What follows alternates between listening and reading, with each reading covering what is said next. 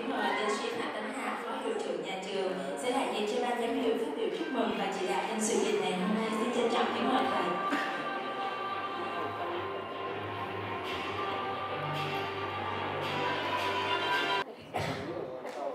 Kính thưa giáo sư tiến sĩ Ngô Văn Lệ, nguyên bí thư đảng ủy, bí thư trưởng nhà trường.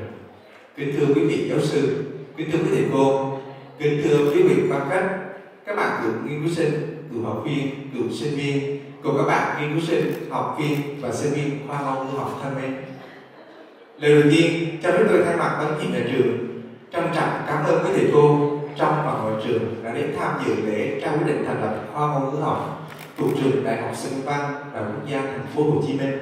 Đồng thời xin được chào đón và cảm ơn sự hiện của quý vị quan khách, các bạn cựu sinh viên, cựu học viên, cựu nghiên cứu sinh cùng tất cả các bạn sinh viên, học viên, nghiên cứu sinh trong ngày lễ trọng đại đánh dấu một cột mốc quan trọng trong quá trình hình thành và phát triển khoa ngôn ngữ học.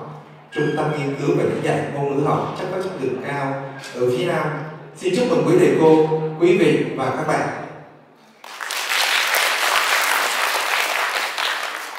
Kính thưa quý thầy cô, quý vị và các bạn,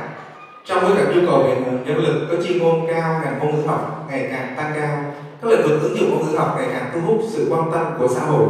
sự phát triển ngày càng lớn mạnh của đội ngũ các nhà giáo, các nhà nghiên cứu ngôn ngữ học, được sự cho phép của Đại học Gia Thành phố Hồ Chí Minh, hiệu trưởng nhà trường đã ban hành quyết định thành lập khoa ngôn ngữ học trực thuộc trường. Trải qua hơn 40 năm xây dựng và phát triển, cùng với khoa ngữ văn Việt Nam, sau này là khoa văn học và ngôn ngữ, khoa ngôn ngữ học, tiền thân là bộ môn ngôn ngữ học đã không ngừng lớn mạnh, phát huy vai trò là đơn vị duy nhất ở khu vực phía Nam đào tạo cử nhân ngôn ngữ học, đào tạo một ngàn thạc sĩ, hai ngàn tiến sĩ, đảm nhận và thực thi sứ mạng một cơ sở đào tạo nghiên cứu về ngôn ngữ học hàng đầu của các tỉnh Nam Bộ và Nam Trung Bộ. Trong hơn 40 năm qua, tập thể nhà giáo, nhà nghiên cứu, các bộ khoa ngôn ngữ học đã công bố nhiều công trình, kết quả nghiên cứu khoa học, các sách chuyên khảo, giáo trình, các bài viết trên các tạp chí khoa học uy tín, các hội thảo quốc gia và quốc tế.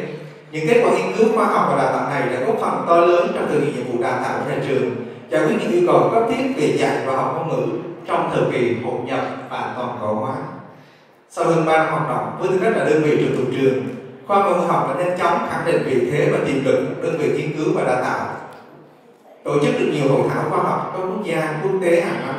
sự gia tăng về số lượng nghiên cứu sinh, học viên cao học sự gia tăng và ổn định về các hành động cử nhân Ờ, trong bối cảnh các ngành khoa học cơ bản đều gặp rất nhiều khó khăn trong công tác tuyển sinh tất cả những điều đó cho thấy uy tín về chuyên môn cũng như sự hỗ trợ nỗ lực hết mình của tập thể cán bộ giảng viên khoa ngôn ngữ học. Chúng tôi tin tưởng rằng khoa ngôn ngữ học sẽ làm tốt vai trò sứ mạng của mình trong đào tạo và nghiên cứu đặc biệt là sẽ phát triển quy mô đào tạo nghiên cứu khoa học trên tầm cao mới trong những năm tới ở vị thế là khoa trực thuộc trường. À, về điều này thì uh, tôi xin chia sẻ một chút xíu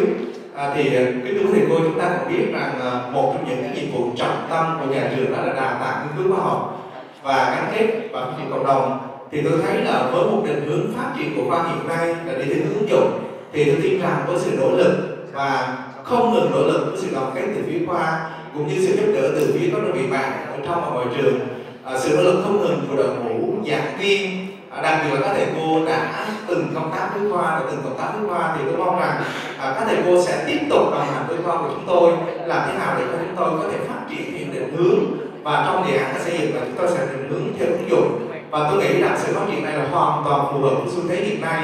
Và chúng tôi cũng thật sự là mong khoa hãy không ngừng nỗ lực hơn nữa. Chúng ta đã có những thành tích rồi nhưng mà thật sự là cái sự phát triển của xã hội luôn luôn thay đổi. Và đòi hỏi chúng ta phải luôn luôn phát triển. À, cho nên là tôi nghĩ là với một sự đồng tâm và hiệp lực từ phía khoa cũng như sự hỗ trợ từ phía các thầy cô của các đơn vị trong và ngoài trường tôi tôi mong mỏi rằng khoa mình sẽ ngày càng phát triển để đáp ứng sự kỳ vọng không chỉ của các anh chị sinh viên à, cựu học viên mà còn của xã hội nữa. Nên tôi nghĩ đây là một cái điều mà chúng tôi xin gửi gắm tới các thầy cô à, của trong và ngoài khoa đã từng công tác ở khoa và từng công tác với khoa. À, mong rằng nhận được sự giúp đỡ nhiều hơn để cho những cái định hướng của khoa ngày càng đúng và phù hợp với cái sự phát triển hiện nay.